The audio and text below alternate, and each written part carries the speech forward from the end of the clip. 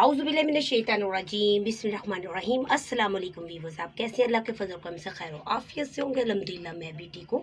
आपका अपना चैनल और आपके अपनी होस्ट आपको मैं वेलकम कहती हूँ आपके अपने चैनल पे। और जिन्होंने मेरे चैनल को सब्सक्राइब कर दिया, उनका बहुत शुक्रिया। और दिल से उनका शुक्रिया और जो न्यू है मेरी वीडियो पे जल्द से चैनल को सब्सक्राइब कर दे बल्कि घंटे को प्रेस कर दे, ताकि आने वाली वीडियो का नोटिफिकेशन आप तक बरकत पहुँचे। और आप मुझे क्या करें, प्यारे प्यारे कमेंट्स करें और वीडियो पसंद आए तो दोस्तों के साथ शेयर करें। वीवर्स हर वीडियो की तरह, हर रोज़ की तरह अच्छी और प्यारी सी छोटी सी वीडियो लेके आई हूँ। वीडियो के साथ जुड़े रहना वीडियो को स्क्रिप्ट बिल्कुल नहीं करना। और वीडियो को आपने फुल वॉच करना है और मुझे फिर अपनी मोहब्बतों का इजहार करना प्यारे प्यारे कमेंट्स करने हैं। आप सब मेरे साथ हैं कि मैं आपके साथ हूँ? नहीं, हम सब साथ साथ हैं। तो वीवर चने अब स्टार्ट करते हैं। आज मैं बनाऊँगी बीफ पुलाव। तो बिरयानी भी समझ लें और पुलाव भी समझ लें। पुलाव के तरीके से बनाऊँगी।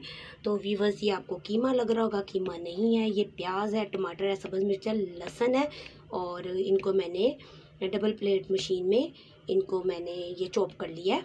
और चावल है, तीन पाव इनको मैंने भिगो दिया हुआ है। और ये अच्छी तरह से भीग जाए, ज़रा दस मिनट और।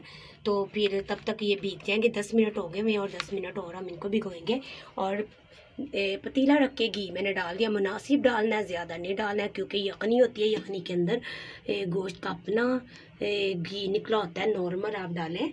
और घी ज़्यादा खाना सेहत के लिए अच्छा नहीं होता। अब क्या करेंगे? घी गर्म हो गया। इसमें अब ये सारा जो मिक्सचर मैंने बनाया हुआ है, ये चॉप किया हुआ है, प्याज, लहसुन, टमाटर, सब्ज़, मिर्च एक साथ ये सब इसमें शामिल कर देंगे।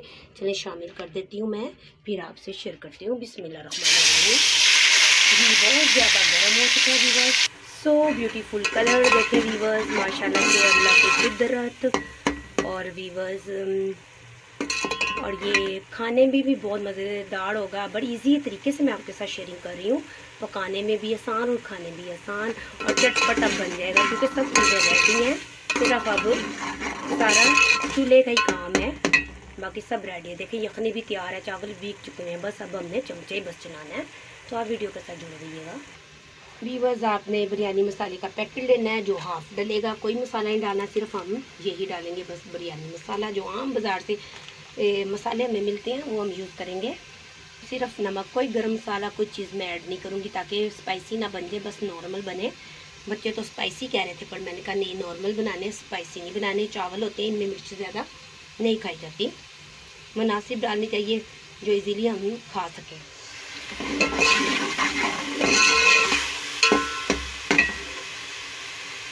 बस, इसमें मसाले ने घी छोड़ दिया। अब इसमें मैंने ये गोश्त शामिल कर लिया। ये प्याज भी साबर डाल दिया। दिल करे तो डाले, नहीं करता तो ना डाले। तो इसको मैं निकाल ही देती हूँ।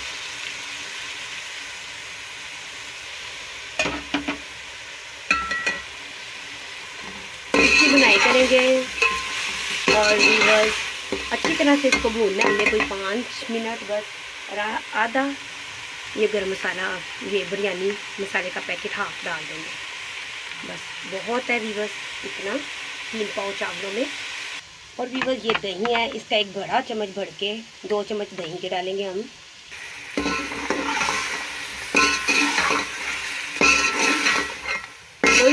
वगैरह ऐड नहीं करना। यखनी डालेंगे। यखनी ए, मैंने चावल नापे हुए एक डिब्बे के। अगर कम होगा तो फिर हम पानी शामिल कर लेंगे वीवर्स और यखनी बड़े आसान तरीके से मैंने वीवर्स बनाई है।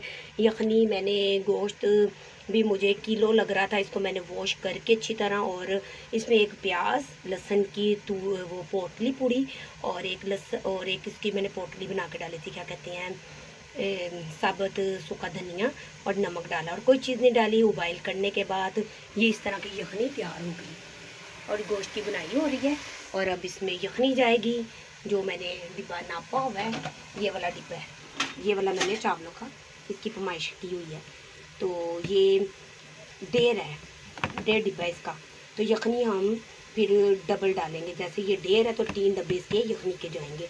अगर कम होगी तो हम पानी ऐड कर लेंगे इसके अंदर। शामिल।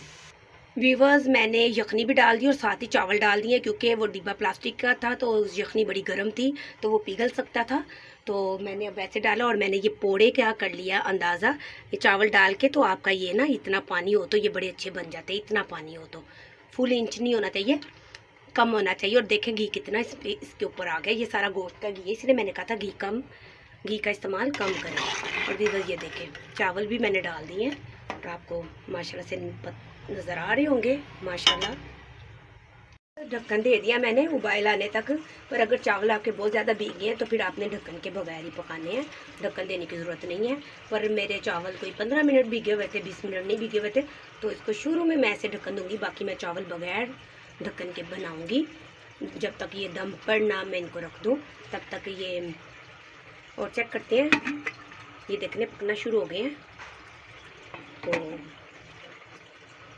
फिर ये ढक्कन मैं साइड पे कर दूँगी। जी वीवर्स अब साइड पे कर देंगे। देखे पक रहे हैं। तो देखो, अब साइड पे करके अब ढक्कन के बगैर इसको पकाएँगे। ठीक है? मसाले के पैकेट में भी नमक होता है, शामिल और यखनी में मैंने पहले ही डेढ़ चम्मच शामिल कर दिया हुआ था। अब लाइट सा मैंने और डाला बिल्कुल लाइट सा। अपने हंसबे जायका आप भी नमक शामिल करें जैसे मैंने किया तो बिल्कुल बैलेंस इसका सही है। पानी में तेज़ होगा तो चावल में आपका बिल्कुल ठीक होगा। और पानी में लाइट होगा तो चावल फिर आपके फिक्के बनेंगे और नमक के बगैर चावल कोई मज़े के नहीं बनते, बल्कि हांडी भी नहीं अच्छी बनती। तो नमक का बड़ा तरीके से चावल में बड़ा बैलेंस करके डालना पड़ता है नमक जी व्यूवर्स इतना सा पानी रह जाए तो फिर दम लगा देते अब इसको मैं तवे का दम लगाऊँगी, मैं तवे का ही लगाती हूँ। और व्यूवर्स देख लें, इतना सा पानी और ऐसे चावल हो तो दम लगाते हैं, ठीक है? इनको अब मैं दम लगा दूँगी। वीवर ये देखें तवा रख के आँच तेज ही रखें जब तक तवा गर्म नहीं होगा तो अभी इसको ऊपर से डाल देंगे और दम में लगा रही ठीक है? सिर्फ़ पाँच मिनट का दम लगाऊँगी इसको मैं। बिस्मिल्लाहिर्रहमानिर्रहीम। जी वीवर्स अलहमदिल्ला अलहमदिल्ला चावल हमारे तैयार हो गए हैं, पुलाव भी कह सकते हैं और आप बिरयानी भी कह सकते हैं, मिक्स ही है, पुलाव एंड बिरयानी। देखें व्यूवर्स माशाल्लाह, अल्हम्दुलिल्लाह। और बहुत मज़े की खुशबू आ रही है और बड़े टेस्टी बहुत मज़े के बने हैं। इनको सारा हम मिक्स कर लेंगे, अच्छी तरह से हिला लेंगे इनको। और चावलों को ताकि टूटे भी ना और हिल भी जाए सारे, माशाल्लाह, अल्हम्दुलिल्लाह। देखें व्यूवर्स कैसे धुना, धुआंधार पुलाव हमारा रेडी हो चुका है। पुलाव विद बिरयानी। बड़े इजी तरीके से आपको मैंने शेयरिंग की है, आपके साथ। ज़रूर बनाइएगा, खाइएगा और मुझे भी बताइएगा। चलिए डिश आउट करती हूँ, फिर आपको दिखाती हूँ मैं।